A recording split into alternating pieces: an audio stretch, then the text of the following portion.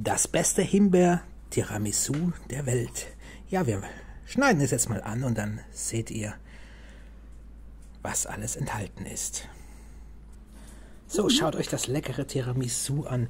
Himbeer-Tiramisu, erst eine Schicht mit Löffelbiskuit, dann eine Quark-Mascarpone-Schicht, darüber Himbeer, Mousse und dann dasselbe nochmal und zum Schluss die weißen Schokostreusel.